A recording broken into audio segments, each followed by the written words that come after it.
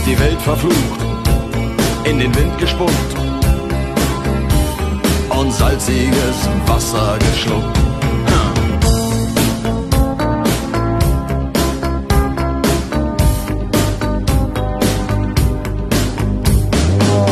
Als wir den Anker warfen, war es himmlische Ruhe und die Sonne stand senkrecht am Himmel. Als ich über die Reling sah, da glaubte ich zu träumen.